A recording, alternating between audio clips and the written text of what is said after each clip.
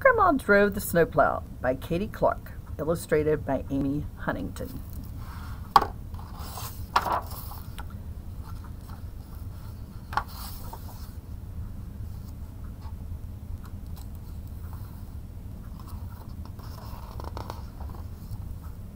Beep!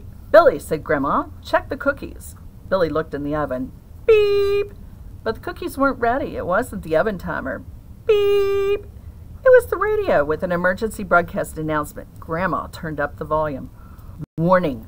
This storm has changed direction. Blizzard conditions are sweeping across the state. 18 to 24 inches of snow is expected by nightfall. Oh, no, said Billy. But tonight's the carol sing. Grandma looked at the tins of cookies stacked on the counter and the basket of mittens all set to go by the door. Don't you worry, she said. We'll be fine, just fine. Buster's out in his truck. Get the roads cleared. He can plow through anything. And so she rolled out another lump of dough. Now in the summer, Grandma ran the garbage business. Her three sons drove the trucks. But in the winter, when all the summer folks were gone, there just wasn't much garbage. But there was always plenty of snow. So in the winter, Grandma ran a snow plowing business too. So for everyone in town, there was no bigger winter celebration than the carol sing. Starting the day after Thanksgiving, people baked cookies, practiced songs, knit pairs and pairs of mittens for the mitten tree. They hadn't missed a carol sing for as long as anyone could remember. Ring! Billy said, Grandma, are those cookies done? Ring! Billy checked the oven. Ring! But it wasn't the oven timer. It was the phone. Hello, said Grandma. Oh, no, said Grandma. I see, said Grandma. And she hung up the phone.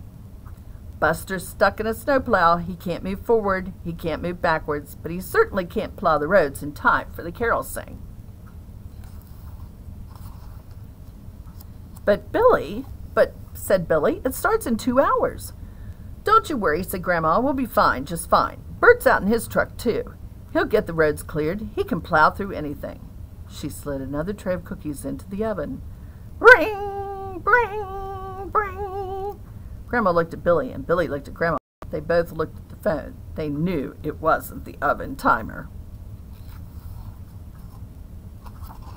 Hello, said Grandma. Oh, no. I see, said Grandma, and she hung up the phone.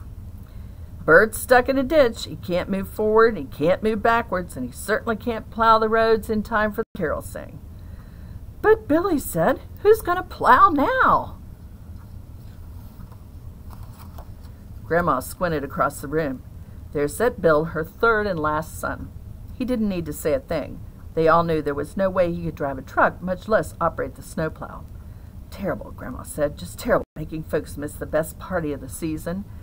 Then she looked at her littlest grandson, but he didn't look too happy. But he didn't look sad, he looked happy. But what was he holding in his hand? Come on, Grandma, he said. We've got a job to do, a big job. Grandma yanked off her apron and tossed the spatula to Bill. Don't let the last batch of cookies burn, she said, and she grabbed her coat. Billy scooted up on the front seat. Grandma switched on the flashing lights. If I can drive a garbage truck, I guess I can drive this monster. She lowered the plow and barreled down the highway. The wreath, the wreath, cried Billy, but Grandma didn't see it. The wipers were beating. Thwomp thuck, thwomp thuck, thwomp thuck, thwomp thuck. The snowplow churned around the corner. Let's just give these folks a hand, said Grandma. The reindeer! The reindeer! shouted Billy. But Grandma didn't hear. The wind was howling.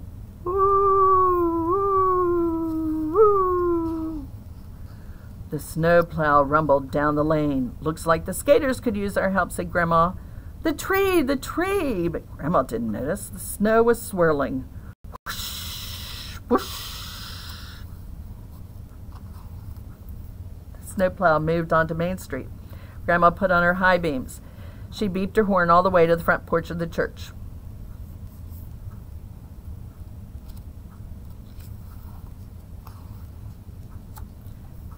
Roy Hardy grabbed the wreath. Eleanor Edna Fillmore grabbed the lights, and little Maggie Wells helped hang mittens on the tree. Merry Christmas, everyone, hollered Grandma. But Billy didn't look happy. He looked sad. Where is he? he said. Ho, ho, I'm here. Santa stopped snow from his boots. That sure is some blizzard out there. Billy sat on Grandma on Santa's lap. He opened his present, and then he pulled something out of his pocket. This is for you, he said. I knew you'd make it. You always do. And they made it to the carol sing. Everybody's there. Grandma drove the snowplow.